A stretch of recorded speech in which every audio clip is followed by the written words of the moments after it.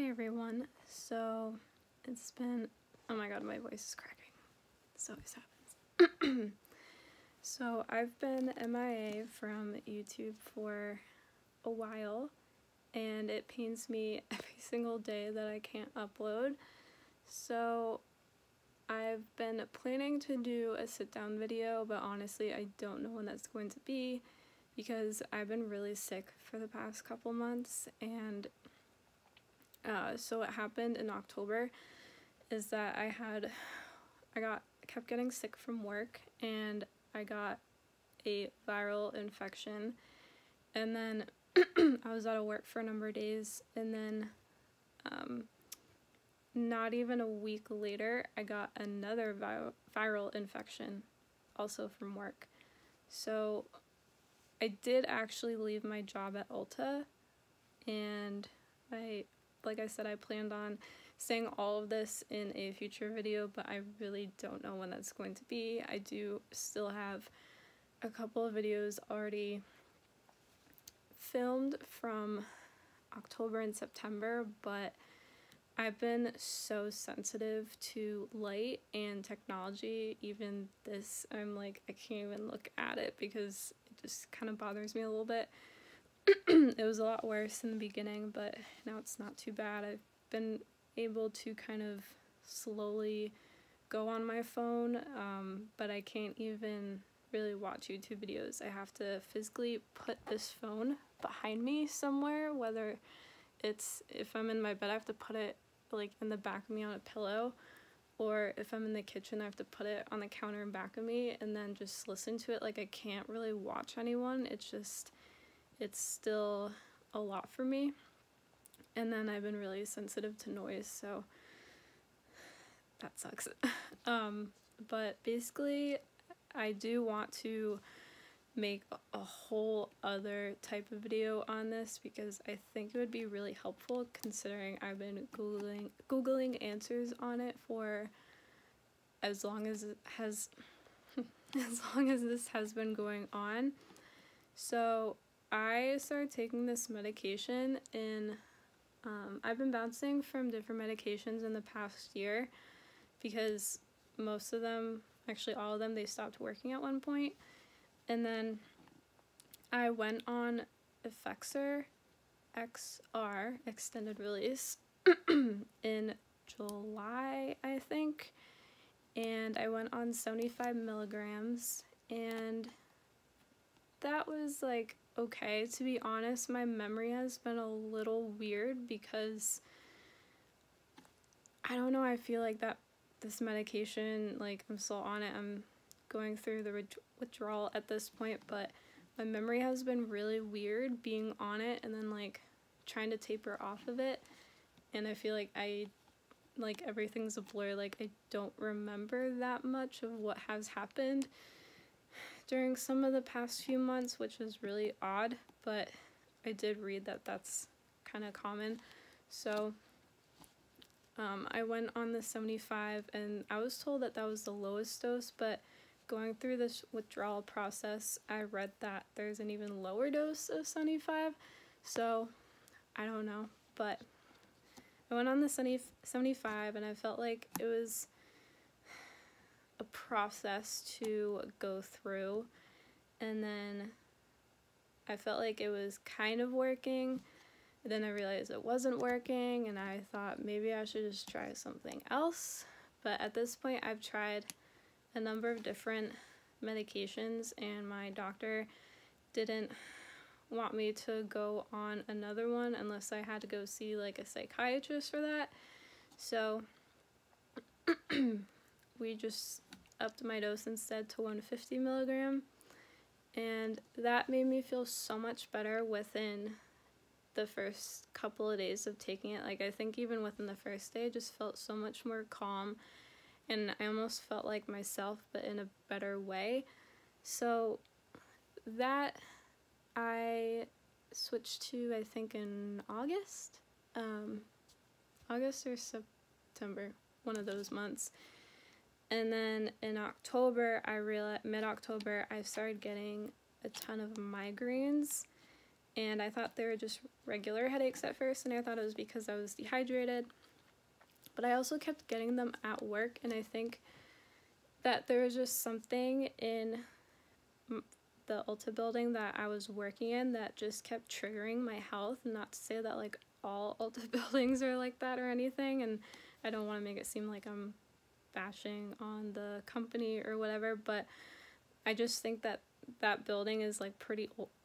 Uh, I don't really know exactly how old it is. Like, I don't know if there was something. I know that the store I worked in, Ulta, had been there for about 12 years, so I don't really know if that was newly built to be an Ulta or if there was something there before. So I don't really know exactly how old the building is, but there's just something in the building that just kept triggering my health because I kept going home feeling sick. And that wasn't just after COVID, that was actually before COVID. And I never really linked the two together because when I first started working there in summer of 2018, um, I I remember like within the first two weeks of working in Prestige, I all of a sudden just felt so dizzy. Like I legit felt the room spinning, and I was like, "What is going on?" I thought it was just dehydrated or something, but I just felt really nauseous. And then one of my coworkers said it's probably the fragrance. Like a lot of people deal with that, so I kind of just moved on, whatever. But there are different times, and I think maybe more during the colder months, but it would kind of happen at random as well. That I would start feeling sick at work and I would start getting headaches and earaches, and then I would go home feeling sick, and then by the next day I was completely fine. And my doctor had said that it's a possibility that the fragrance that's being sprayed in the store, whatever is in those fragrances, because obviously with a fragrance they only tell you like the base notes or you know like the top middle and base notes and everything but they could also be putting other ingredients in there that you don't know of. So i could have been having some type of allergic reaction to those fragrances being sprayed constantly. Now after covid the fragrances weren't being sprayed too often, but still a good amount. And um, I think I was fine uh, when we opened back up, but that was also when not a lot of people were coming into stores or all the stores in general. So I was fine back then, but then I think once more people realized that Ulta was open and started coming in more, that's when I started getting sick. Um, and I'll get back to the Effexor withdrawal, but I just want to say that for anyone who doesn't like wearing a mask, please, please, please wear a mask because every single time that I, in October, that I wrung out a person who didn't wear a mask, who like legit like came into the building and refused to wear a mask, somehow they end up in my line if I was ringing, and each that each person that I rung out that didn't have a mask got me sick afterwards. So even if I'm wearing a mask and you're not, you're still getting people sick. Um, I really hope it's not something like political because there's nothing political about wearing a mask. I don't even know how it became like a political thing, but yeah. So, for all you out there, please wear a mask because workers truly, truly appreciate it. But, so I did leave Ulta for health reasons, but also mental health reasons. I just felt like I uh, the customers after COVID just got so much more rude, and I, I feel like I couldn't be in retail anymore. It has really, in a way, like ruined my mental health, and it took, it was really stressing me out too. And even though like I love the people I work with, that was actually what was making me hold on to working there for so long because I had such an amazing team to talk to every single day and work with that I didn't want to leave that because it's not every day and not in every job that you have managers or coworkers that like truly care that like said that really weird that, um, that truly care about you and your well-being and like want you to talk to them and um, about anything. And I had never experienced that before working at Ulta so that kind of kept me from leaving. Um, and also I thought that after COVID I was going to be in prestige or at least get back into prestige at some point prestige at some point but I wasn't and it was just very overwhelming eh, for me and I just felt like I couldn't really do it anymore. So even though I had a lot of good times at Ulta and through the ups and downs through the ups and downs I'm really happy that I worked with the team that I did because that's pretty much what got me through it and then all the friends that and family that have supported me throughout everything um, thank you so much because even just through like the process of leaving Ulta was difficult. And so because I did put in my 2 weeks, but that's around the time that was around the time that I actually started withdrawing from Effexor and it was all under my doctor so I didn't do it just on my own and basically I did 10 doses every other day and I just finished that and wow is it brutal. Um, but I'm gonna make a whole separate video about it like I mentioned because I don't want to talk too much about it but in this one. But um, yeah now I'm kind of going through like round two of it because even though I just finished that part which my doctor wanted me to do I am now doing um, every three days I take the pill um, or capsule. And yeah, day three, yes, or well, yesterday, like I took it Wednesday. This is Friday.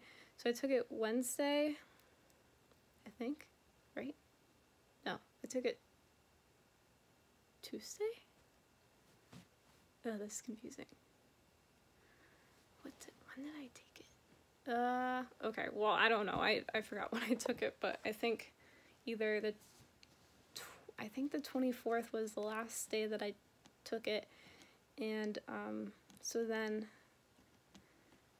like, one of the days yesterday, uh, my body, Thanksgiving, my body did not handle that well. And I stayed in bed all Thanksgiving and I was supposed to go to my cousin's with my parents, and I stayed back because I was just way too nauseous.